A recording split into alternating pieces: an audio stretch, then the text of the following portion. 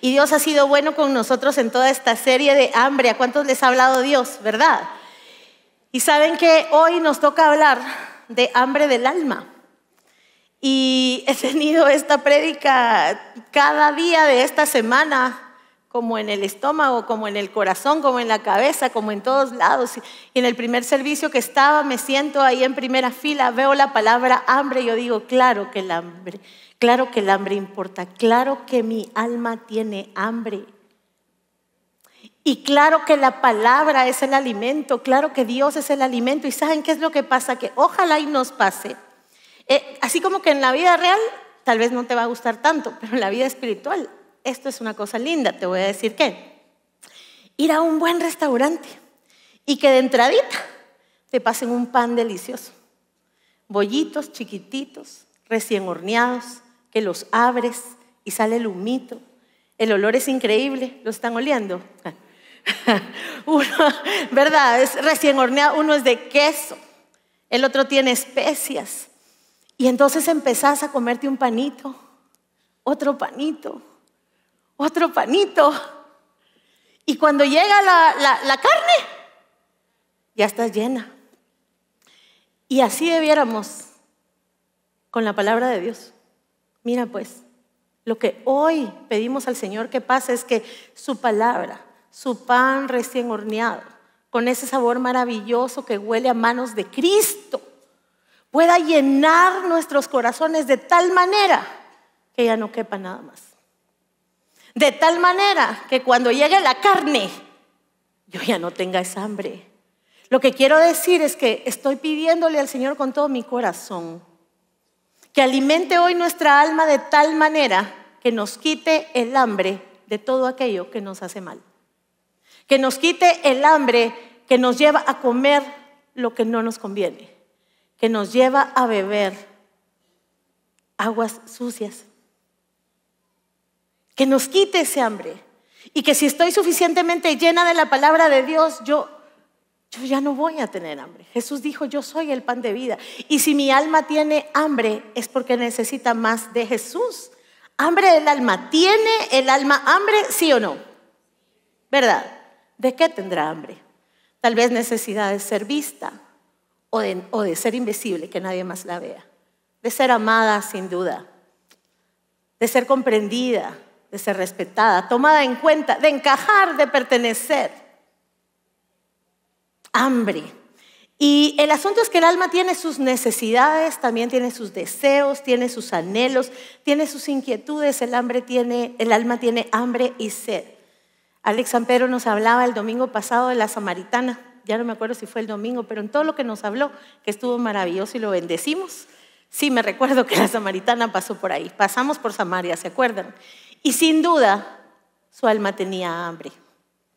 Porque el hambre del alma nos hace pasar cinco veces y media por el mismo lugar, buscando en el mismo lugar algo que a todas luces no está ahí. Así que quizás el hambre del alma sea la explicación de algunas cosas que me pasan. La iglesia está en un lindo momento de muchos bebés. En, el equipo pastoral hay muchos bebés ahora, muchos bebés. Y mm, y también ustedes, ¿cuántos tienen bebés así chiquititos de verdad? Mírenlos, alegre. Así, véanlos. ¿Qué pasa cuando ese bebé tiene hambre? ¿Cómo se pone? Miren, yo pregunté en el, en el servicio anterior a mamás de bebés y una me dijo, se pone histérica. La bebita, y hasta, y hasta que le dan la pachita.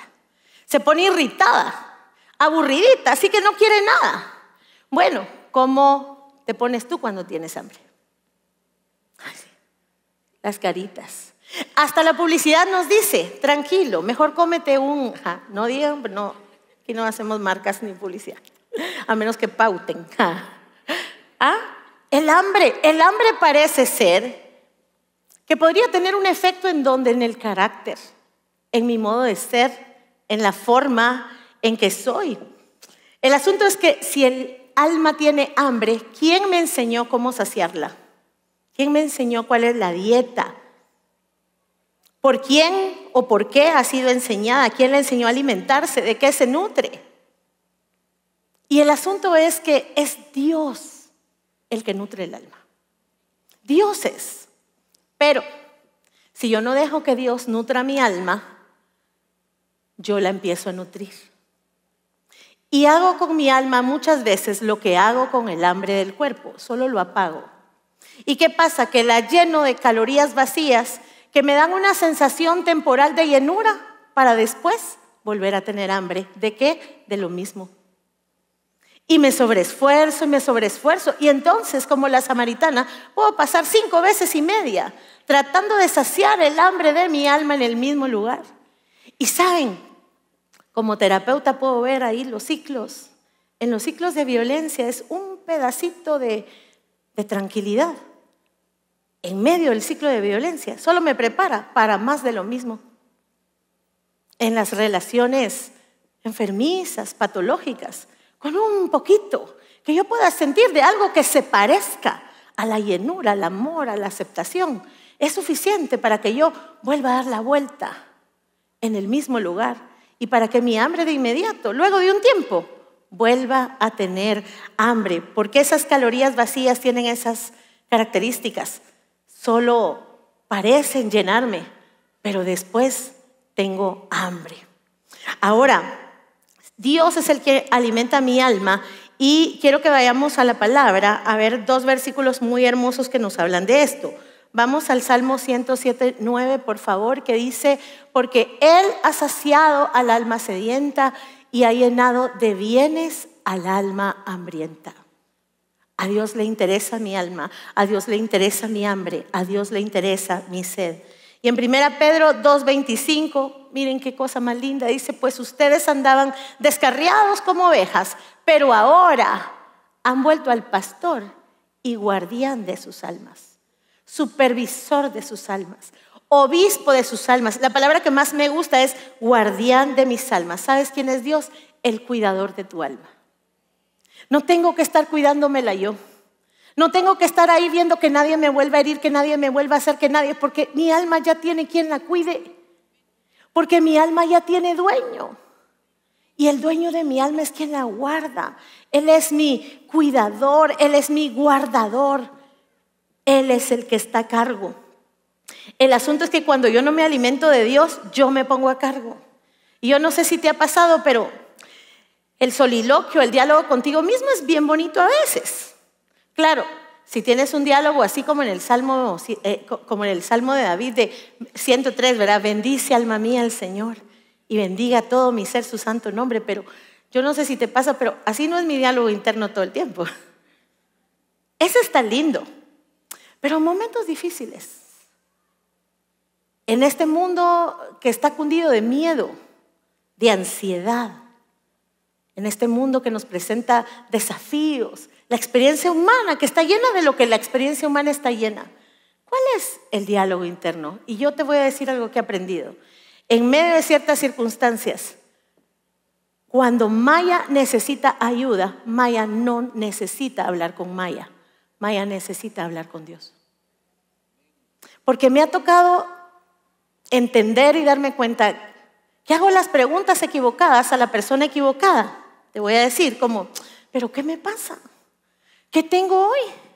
¿Y yo qué? ¿Pero qué es esto que siento adentro? ¿Pero por qué me pasa lo mismo? Y como yo no tengo las respuestas, al rato se la pregunto a alguien más, ¿qué me pasará?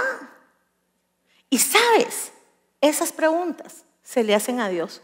Porque no es lo mismo estar pasando un momento de dificultad, un momento en que el alma está inquieta y atribulada, y en lugar de Maya hablar con Maya, porque te vamos, vamos a decir algo, a ver, Maya, no puedes hablar con Maya, porque Maya te metió en este pozo.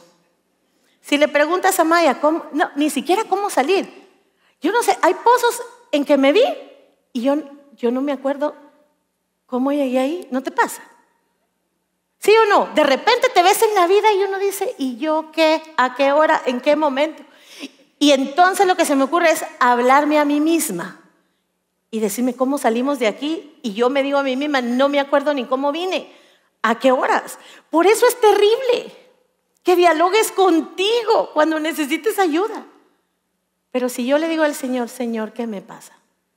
¿Qué tengo aquí adentro? ¿Qué pasa conmigo? ¿Por qué me siento así? Voy con el Dios que lo sabe todo, que me hizo el alma, que comprende más y mejor. Quiero que sepas que Dios sabe más de ti que tú. Así que en Él está toda la respuesta, toda la explicación, toda la comprensión. Porque si no me sigo dando estos diálogos y estas calorías vacías que me dan esta sensación de llenura y empiezo a operar desde la carencia, desde la necesidad, un alma carente. He oído así a, los prejos decir como needy. ¿Y saben qué es terrible del alma humana? Que cuando uno ve que alguien está needy, pues le niego. Y si encuentro a alguien que necesita atención, ay no, atención es lo que quiere, pues no se la doy. Pero cuando Jesús encuentra a alguien needy o necesitado, cuando Jesús sabe que lo que quieres es llamar su atención y por eso te subiste a un árbol, Jesús no te dejaría con tu necesidad, porque Jesús está reconociendo que eso es hambre. Jesús está reconociendo tus necesidades, anhelos. Jesús no nos deja con esa necesidad. Ahora, volvamos a ver cómo somos cuando tenemos hambre. Inquietos, irritables, como hambre, aburriditos. Ven, es algo que él y yo teníamos planeado como testimonio de esto. Ahora, ¿cómo luce un alma saciada? ¿Qué va a pasar con el bebé si le dan pachita? Y toma lo suficiente. ¿Qué va a pasar? ¿Qué pasa con nosotros que después de tener hambre comemos? ¿Cómo te quedas? Tranquilo. ¿Sabes cómo luce un alma saciada y satisfecha? Tranquila. Y el alma tiene necesidad de tranquilidad. El alma tiene hambre de paz. En un mundo tan convulso, intranquilo, en donde se vive a prisa. Ustedes han visto, todo se vive a prisa. oye, vivimos tan a prisa que puedes escuchar las notas de voz a doble velocidad. O sea, no me digan que no viven a prisa. Pues, Señor te bendiga. O sea, eso no es prisa, pues. La prisa es como que la llevamos adentro. A prisa todo. A prisa todo. A un mundo donde hay preocupación y miedo excesivo por todo, por lo que pasa, por lo que no pasa, por lo que pasó y por lo que no pasó, por lo que pasará, por lo que no pasará. Entonces el miedo pasa de ser concreto a ser un miedo abstracto, a ser un miedo que no puedo identificar, pero igual siento lo mismo. Yo les voy a contar aquí algunas intimidades. Pues debo decir eh, que a mí, pues sí me dan miedo los ratones. A mí poneme lo que querrás, poneme cucaracha, lo que quieras, demonio, poneme, no me pongas un ratón. Ay, sí pasa. O sea, si un ratón entra aquí, solo que un ángel salga a defenderme, sino que predique Moshi. Así, que siga Moshi a mí verdaderamente, o sea, me pongo a sudar todo. De tal manera que cuando vi la película esta de esa, ah, Ratatouille, en la escena aquella de que están en la cocina y pasan las escuadrillas de ratoncitos y vegetales, carnes, yo, ay, yo sudaba, era una cosa horrible. Pero, es un miedo concreto, bueno, pero la ansiedad es un miedo a no salir por si hay un ratón. Es un miedo a no comer queso para no atraerlos.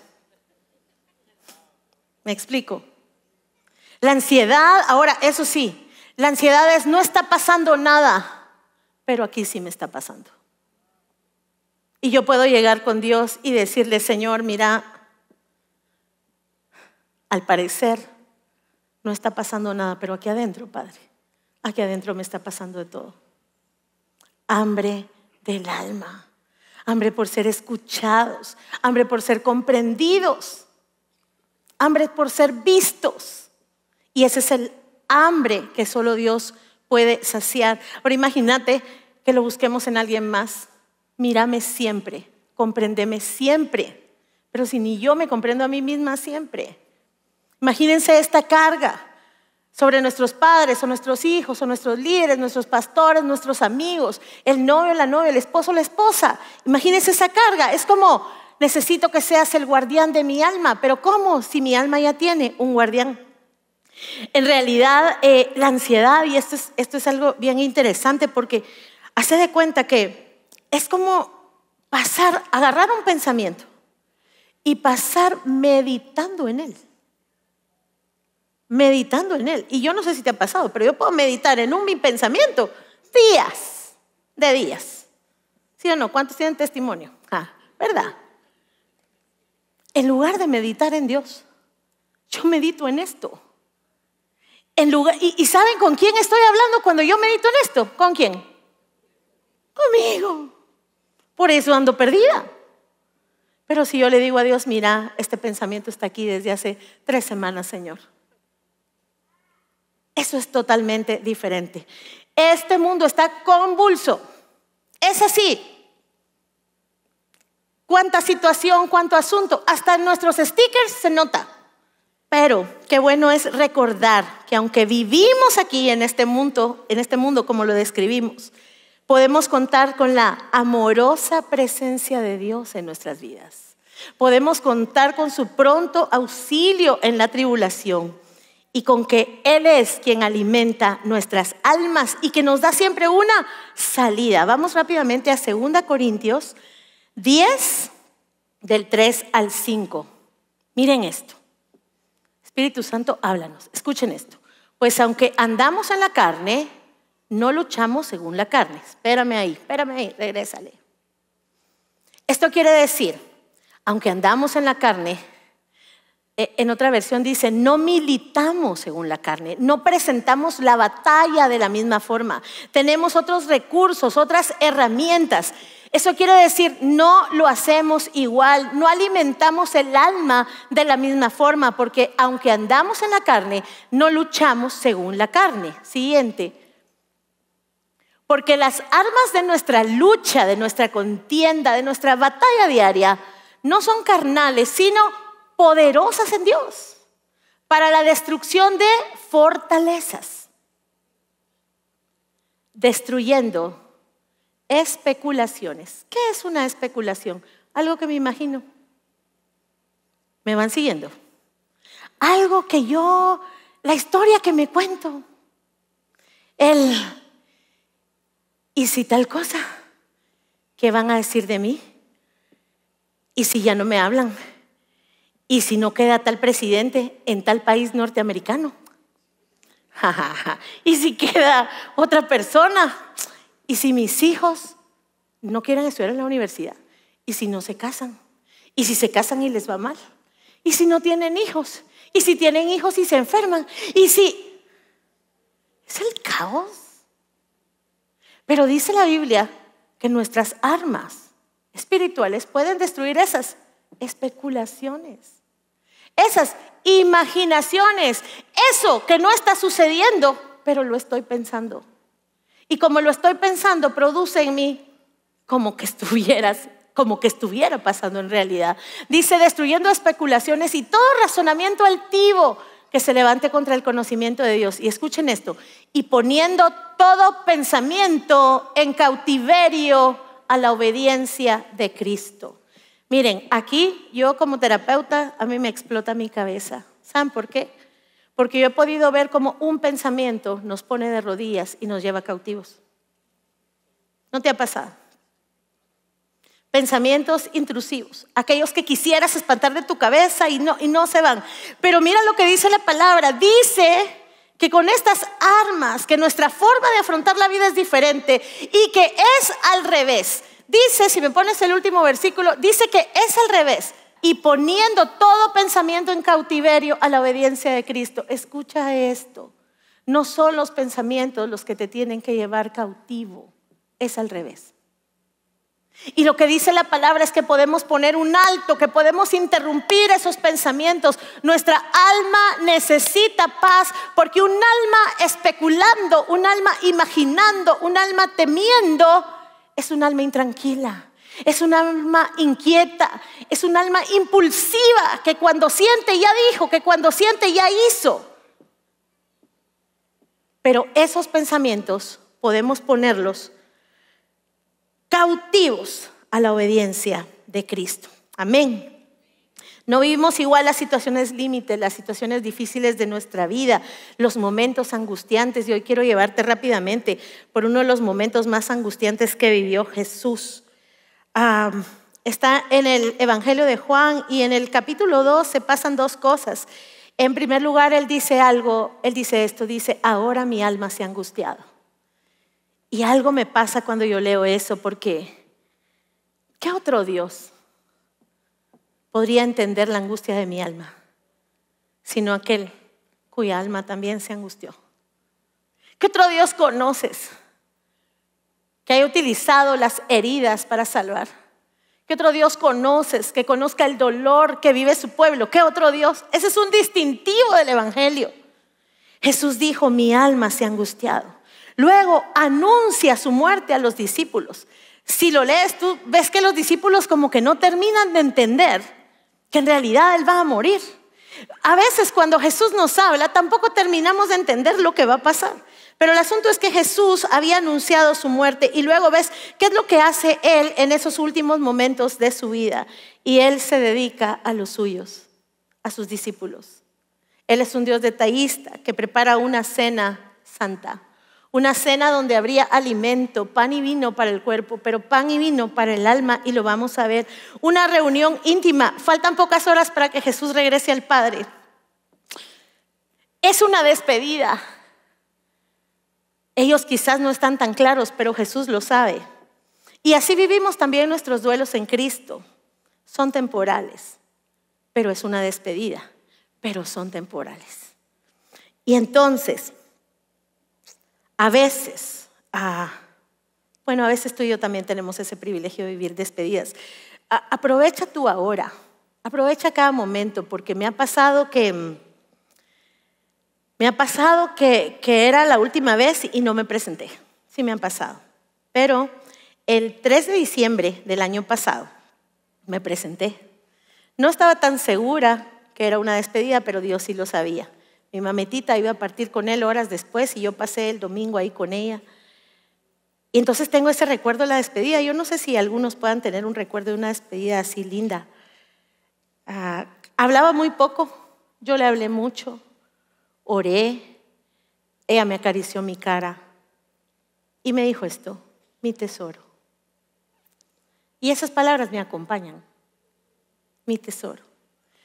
Ella fue mi madre de crianza es mi madre crianza, quien me maternó, mi abuelita. Se casó con mi papá Gustavo, su segundo esposo, mi papá adoptivo. Lo amo con todo mi corazón. El vínculo perfecto no es la sangre, es el amor. Hay que amar a la familia para vincularnos a ella. La sangre no es suficiente. Y, mm, y mi papá Gustavo, también tuvimos esa despedida. Yo estuve con él en el hospital y me recuerdo que me dijo, imagínense para mí, siendo mi padre adoptivo, me dijo esto, lo mejor que he hecho en mi vida fue ser tu papá. Y con eso tengo. Pues Jesús también dejaría sus últimas palabras a sus discípulos y a todos aquellos que creyéramos en Él. Y las vamos a ver hoy. Y es algo hermoso. Vamos a ir al capítulo de Juan 13, 1. En el 12 se angustió eh, avisó que se iba a morir. En el 13 dice esto, antes de la fiesta de la Pascua, sabiendo Jesús que su hora había llegado para pasar de este mundo al Padre, habiendo amado a los suyos que estaban en el mundo, los amó hasta el fin. ¿Sabes cómo alimenta a Dios nuestra alma? Dándonos certeza de ser amados hasta el fin. ¿Sabes cómo te ama Jesús? Hasta el fin. ¿Sabes por qué a veces no lo podemos comprender? Porque nadie nos ha amado así. Porque el amor de Dios es constante, mientras que nuestro amor es intermitente. Si me das, yo te doy. Si me haces caras, te la devuelvo. Si mi hijo se porta mal, yo lo corrijo y de repente cambio mi forma de hablar con él, frunzo el ceño. Si, si es con mi, con mi esposo, con mi esposo, con los novios, te hago la ley del hielo, ya no te hablo. Es nuestra versión adulta de la pelota es mía y yo ya no juego. ¿Verdad? El alma y sus apetitos y su hambre de que la cosa sea. Pero el asunto es que el amor de Dios es constante, así que no me frunce el ceño, no me castiga con la ley del hielo, al contrario, Si me voy, me busca. Ese es el amor constante de Dios. Así que dice la Biblia, sabiendo Jesús que iba a morir, que su hora había llegado para pasar de este mundo al Padre, habiendo amado a los suyos que estaban en el mundo, los amó hasta el fin. Y luego vamos al 14. Él sigue hablando ahí básicamente. Creo que es muy lindo que pudieras leer todo esto, pero cuando llegamos al versículo 14, entonces, eh, ¿qué pasaría después? Lavaría los pies de los discípulos. Después de eso, Judas lo traicionaría, luego sería arrestado, Pedro lo negaría, pero Él los está amando hasta el fin. Y les está dejando estas palabras. Juan 14, 1. No se turbe su corazón Crean en Dios, crean también en mí. ¿Qué es lo primero que Dios me dice? No tengas miedo. No vivas con miedo. Que tu corazón no se agite. Que tu corazón no se angustie. Cree en Dios y cree en mí. Y luego les explica dónde él va. Mira, yo me voy. O sea, ahí a mí, yo creo que a todos nos agarra algo. ¿Cómo así que te vas? Yo me voy. Ah, pero yo les voy a ir a hacer un espacio. Y luego ustedes van a venir y le dice Tomás en el versículo 5, Señor, si no sabemos a dónde vas, ¿cómo vamos a conocer el camino? Le dijo Tomás, Jesús le dijo, yo soy el camino, yo soy la verdad y yo soy la vida. Y nadie viene al Padre sino por mí.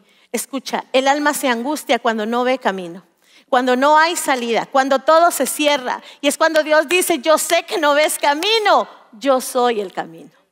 Yo sé que no hay salida, yo soy la saluda. Es que aquí no hay puerta, yo soy la puerta, yo soy el camino. Porque el alma intranquila no puede tomar decisiones. Se siente convulsa, se siente con falta de claridad. Hay gente que pasa saltando en un pie porque es que no toma la decisión de poner el otro. Y así se le pasa la vida. Pero estás con Jesús. Y mientras estés con Él, camino hay. Mientras estés con Él, verdad habrá en tu vida. Mientras estés con Él, tu vida tendrá vida. Mientras estés con Él, hay salida. Jesús no solo quiere ser el camino, la verdad y la vida, quiere ser tu camino, tu verdad y tu vida. Eso es lo que Jesús quiere ser. Amén. ¿Qué más nos está dejando el Señor, como qué alimento nos está dando. Aquí está la guianza y la dirección. Estas son las coordenadas. No teman, yo soy el camino. Caminen ahí en mí. Siguiente cosa, ¿qué otra cosa nos deja el Señor? Consuelo. Palabra y consuelo. Vamos al 14, 15 y 16. Dice, oigan, si ustedes me aman, guarden mis mandamientos. Guarden mi palabra, aliméntense de este pan para que el hambre incorrecta se acabe. Sí, Señor, mátanos el hambre. A veces no es hambre, es gula. ¿Sí o no? El alma también tiene gula. El hambre también tiene antojos. Un antojo no es hambre, es un deseo exacerbado, porque yo quiero solo esto. No, yo no tengo hambre y me como una manzana. No, yo quiero algo de esta marca, de este tamaño, de este sabor, de esta estatura.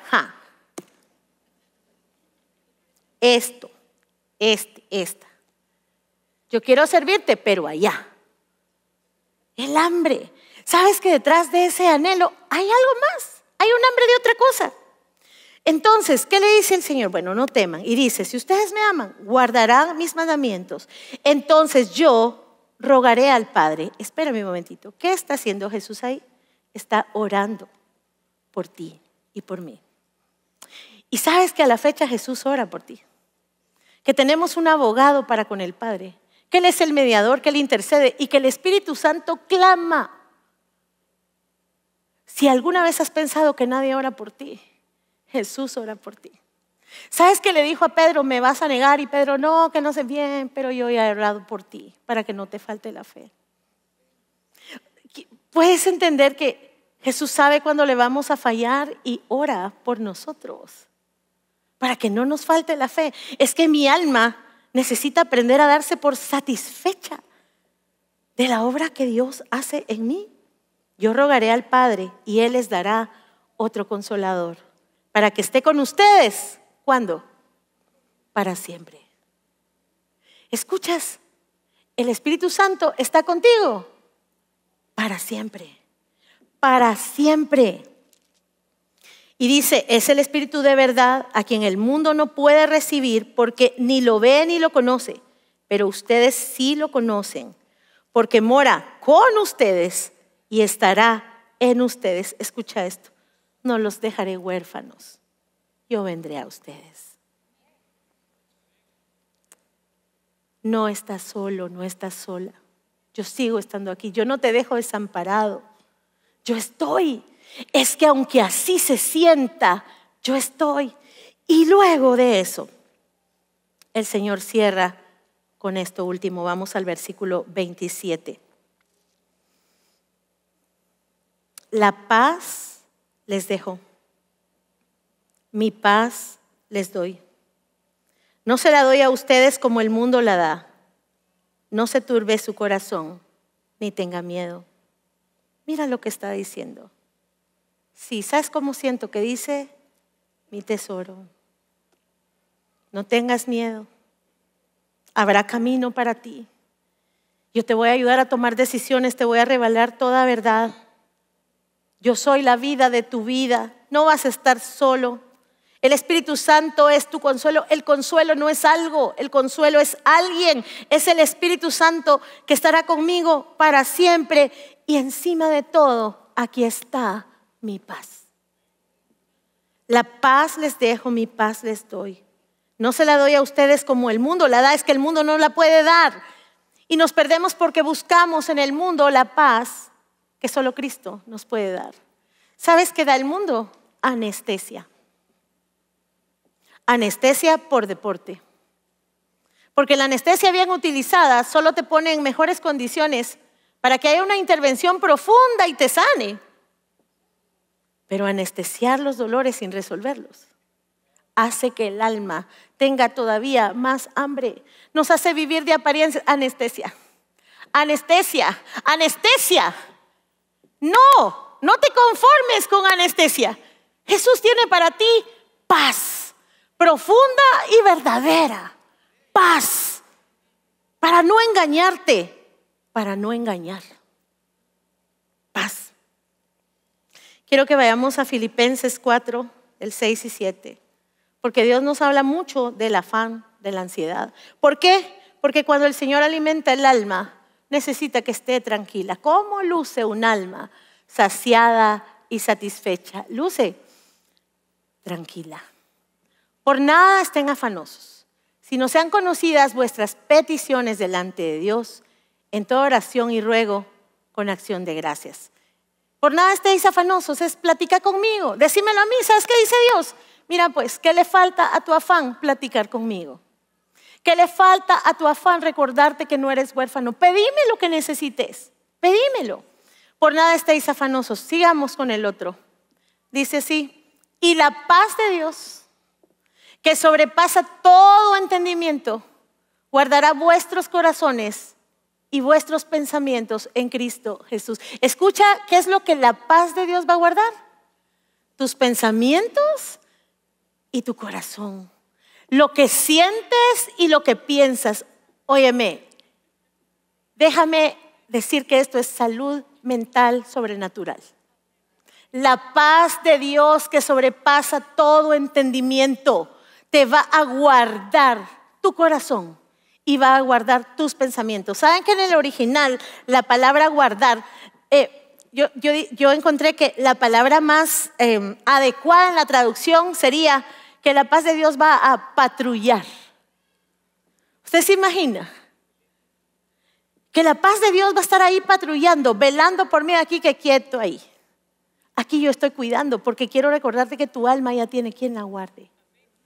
La paz de Dios está patrullando. Ahora, y dice, sobrepasa todo entendimiento porque va más allá de nuestras razones. No se puede entender y la verdad es que de repente viene la gente y me dice, pero explícame, ¿cómo puedes tener paz? Y tampoco se puede explicar. La explicación quizás más realista es decir, ¿sabes qué? Hay paz aquí porque Jesús está aquí. Hay paz en mi vida porque Jesús está aquí. Hay paz en esta familia porque Jesús está aquí. Hay paz a pesar de las cosas porque Jesús está aquí. Porque Él es mi paz. Él es el que se lleva todas mis cargas. Él es que el único que puede decirle a mi alma, ya pasó. Aquietate, tranquila. Es un Dios tan amoroso que se acerca y te dice, a ver qué fue, qué fue. Porque lloras, que te aflige. Yo quiero escucharte. Yo quiero escucharte. ¿Qué pasó? ¿Qué fue? La paz de Dios que sobrepasa todo entendimiento.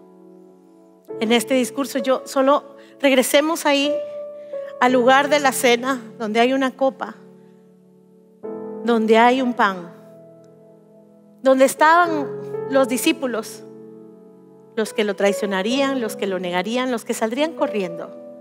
Y Jesús solo les estaba diciendo a su alma, miren, que, son las últimas palabras y Él decidió consolarlos. Son las últimas palabras y Él decidió alimentar su alma. Son las últimas palabras y Él decidió equiparlos. Son las últimas palabras y Él decidió, te voy a dejar esto, este legado, para que puedas vivir. No tengas miedo.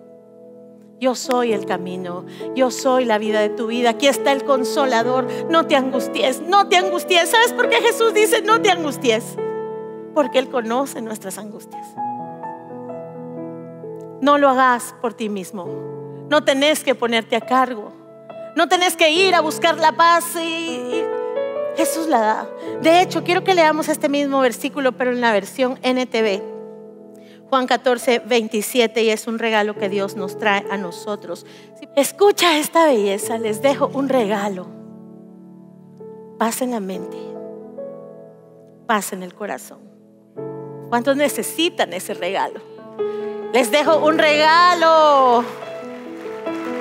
Paz en la mente, paz en el corazón, paz en esos pensamientos que te agobian, paz en esos sentimientos que no te dejan dormir. Yo sé que se siente el vacío, la sudoración, el miedo.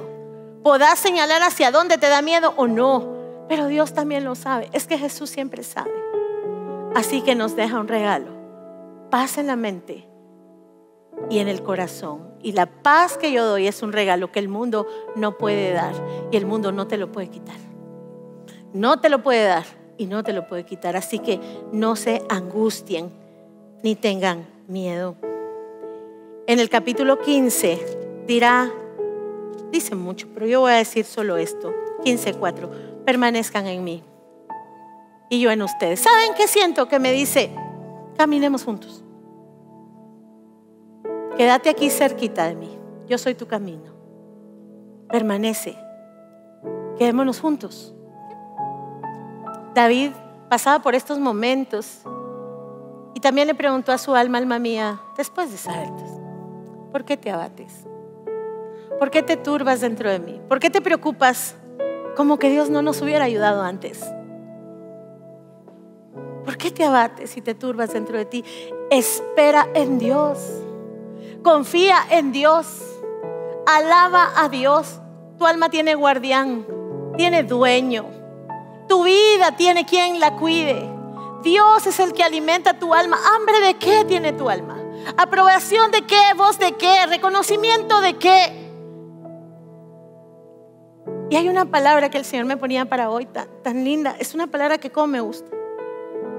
Y es una, es, es una palabra que se usa en mi trabajo y se llama contención. Venimos. Contención, quédate ahí porque yo soy chiquita. Contención es hacer esto es impedir que te desbordes.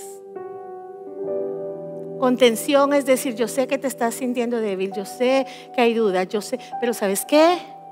Yo no dejo que te desbordes. Yo no dejo que caigas. Y si caigo, yo te levanto.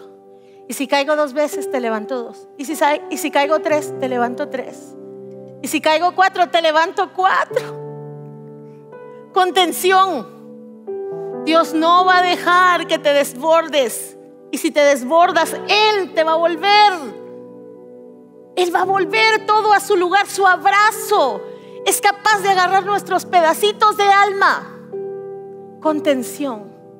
Quiero que leas este versículo en Deuteronomio, porque Dios nos está dando mucha palabra, porque la palabra es el pan para que no tengamos hambre de lo que no hay que tener hambre. Escucha esto, el Dios eterno es tu refugio. Sus brazos eternos te sostienen. Contención. Yo sé que a veces sentimos que no podemos más y es verdad, pero Él puede. No puedes estar en todos lados. Él es omnipresente.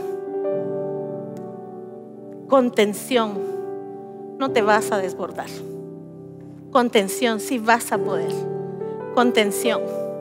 Como una madre conteniendo a un bebé, dándole confort. Y eso es lo que Dios quiere hacer con nuestra alma hoy porque el alma tiene hambre de paz.